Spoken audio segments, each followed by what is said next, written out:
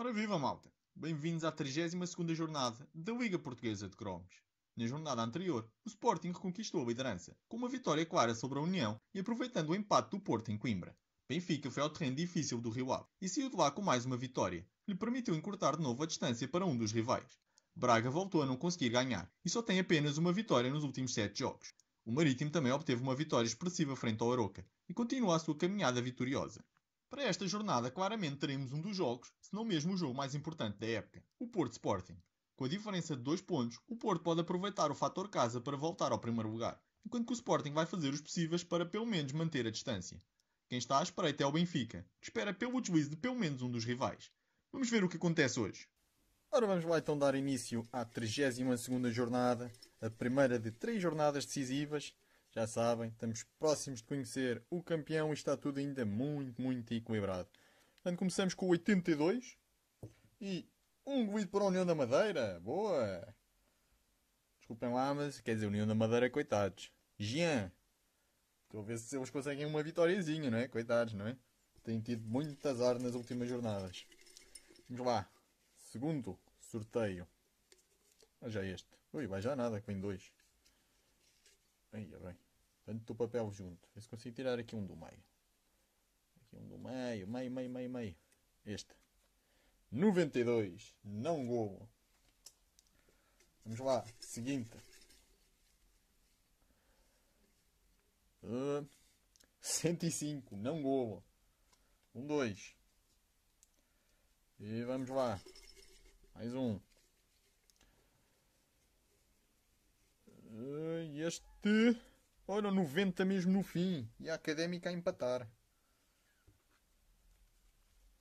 Fernando Alexandre.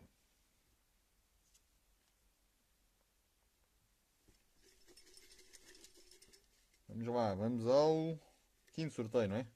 Até agora ainda apenas um jogo com um gol. 80. Olha o Nacional a ganhar em casa do Aroca. O Washington. Vamos lá. Mais um. E. Mais outra vez. Então. Tem que contar. Washington avisar seguido. Bem, tem que baralhar isto melhor, eu sei. Mas isto não, não é fácil baralhar, porque isto, não, é, não são bolas, são papéis. Vamos lá ver o que é que vem aí. Ah, 4. Benfica já para a frente também. Foi golo do. Olha o Gaetan. Golo do Gaetan. Poucas. Benfica então já na frente. E bem importante que é para eles, não é? Considerando que temos um Porto Sporting. 51. Gol do Moreirense. Moreirense também em busca do quarto lugar. E agora virtualmente é mesmo o Yuri. Virtualmente em quarto lugar. Considerando que, acho, se não me engano, estavam apenas um ponto do Braga. E o Braga ainda está empatado. Portanto, virtualmente o, Braga, o Moreirense em quarto lugar. Uh, 78. Novo gol do Nacional. Aí é bem, o Nacional está a aplicar ali fora de casa. Salvador Agra. 3-0. E agora. Se consigo tirar aqui um do fundo, mais para o meio. São sempre aqueles que estão mais escondidos. Oh. eu bem tento, eu bem tento, mas saem números repetidos. Gaetan. Portanto, Gaetan avisar. 2-0. Vamos lá ver. Aqui, vamos lá aqui para o fundo. Tem de haver aqui estes aqui escondidos. Tipo este, será? 34. Gol do bem. Portanto, o Belenenses. O André Souza. 1-0 para o Belenenses. Também não pode perder a carruagem. Ver se ainda consegue pelo menos o quinto lugar, não é? E vem já este. 30. Olha, o Rio Ave a ganhar em casa do Tondela. Mais um também. Ainda Ucra. Mais um que ainda aspira a chegar a um bom lugar. Portanto, até agora não há assim muita surpresa. Ali o Nacional a ganhar 3-0 e sim é uma surpresa, vá. Ui, é complicado. 60. Boa Vista a empatar em casa do, do Moreirense. Olha o Idris. Vamos lá, continuar. Ah, pois estão aqui uma data deles todos juntinhos mesmo. Parece. Parece fio indiana. 67. Estoril ao, ao Marítimo? Acho que é Marítimo. É sim, senhora. Edgar Costa. Marítimo tem feito uma ótima, uma ótima campanha agora no final. Esteve ali muito próximo da despromoção, mas agora está muito bem encaminhado para ficar ali a meio da tabela. 5. Uh, bem, o Benfica hoje deve ser do Porto Sporting. Talisca. Portanto, o Benfica já 3-0 ao Guimarães. Isto virtualmente não sei se muda alguma coisa. Eu acho que passam para a frente do Porto. Se o Porto empatar, acho que só estavam a um ponto do Porto. 84 e mais um da União. Portanto, passa outra vez para a frente. O Cádiz. Será que é desta que a União consegue uma vitóriazita? Ia bem. Vamos aqui tirar aqui deste lado. Este. 53. Moreirense.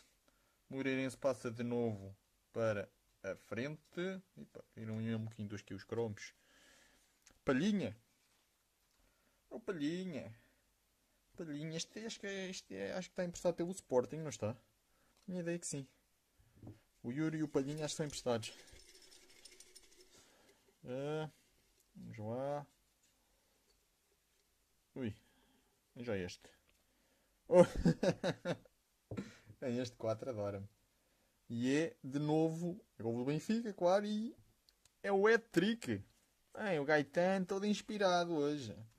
Hat-trick para o Gaetan. 4-0. Já está mais resolvido, claro, a favor do Benfica. E 10. Olha, boa. Agora já não serve muito, mas pronto. O Guito, pelo menos de consolação. O Ricardo Valenta. 4 a 1. Devemos ir aqui. Pá, é uns 20, não é? Não estou só depois, só depois é que conto. Oi, ao contrário. 43. E Porto passa para a frente. Oh, é Herrera. Portanto, o Porto passa para a frente não só neste jogo, como também na classificação.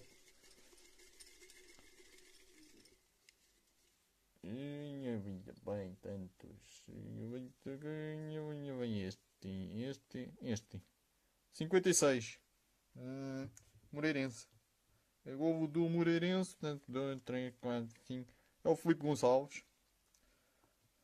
E Moreirense agora com uma vantagem mais alargada, não é? Dois gols, 3 a 1.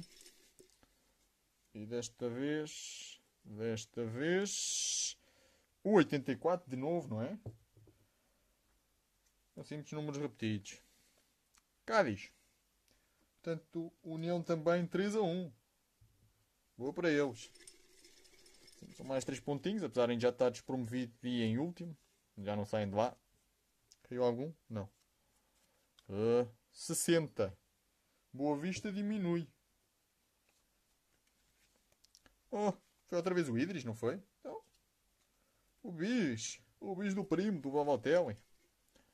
E agora, vamos lá ver aqui. Algum que esteja aqui o fundo. Aí, é, já os descobri. Estão aqui mesmo em molho. Já este. 75. Ah, o Arauca a reduzir, mas não deve servir de muito, digo eu. Roberto! Portanto, 3 a 1. Ou 1 a 3 neste caso. Olha, o Braga ainda está a 0, agora que eu estou a ver. Não é boas notícias, porque o Moreirense está a ganhar. Também só por um. Ia bem. Ah, anda lá, sai lá.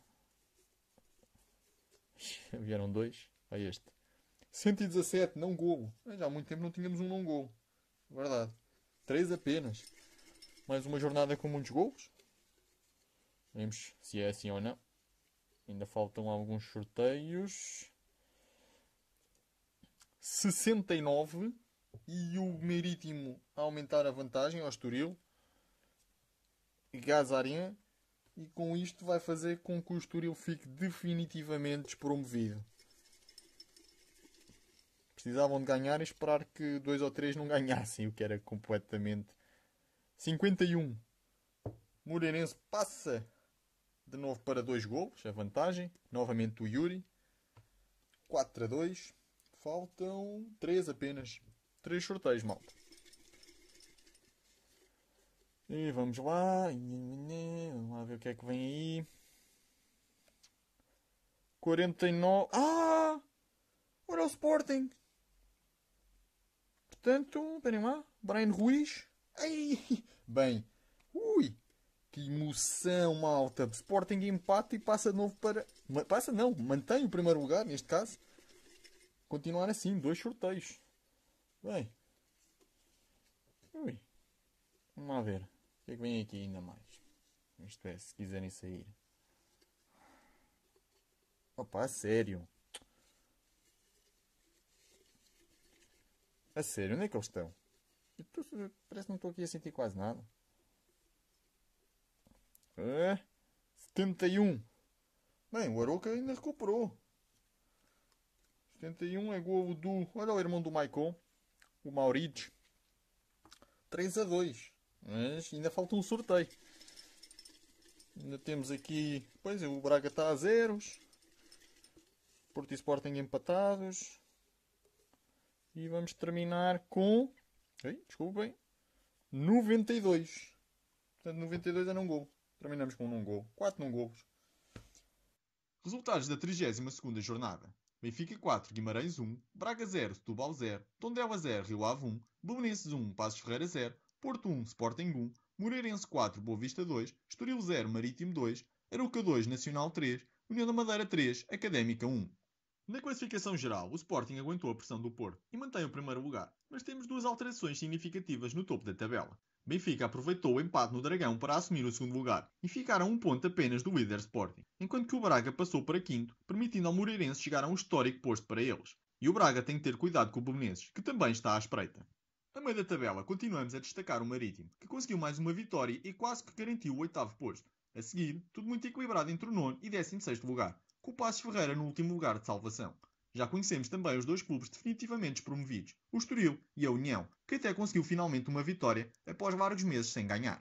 Na próxima jornada, a penúltima da Liga, Benfica vai ao terreno do motivadíssimo Marítimo, prevendo-se um confronto muito complicado para os encarnados. O mesmo se passa com o Porto, que vai ao terreno do Rio Ave, equipa que já garantiu o sétimo lugar. Sporting recebe o Setúbal e sabe que não pode errar, com o Benfica logo atrás, bem como o Braga sabe que terá de ganhar em Coimbra e esperar que o Moreirense tenha um deslize em Guimarães. Por isso, malta, Agora é que não podem mesmo perder pitada desta liga, com muito ainda por decidir. Conto convosco para a penúltima jornada desta liga e fiquem bem. Tchau!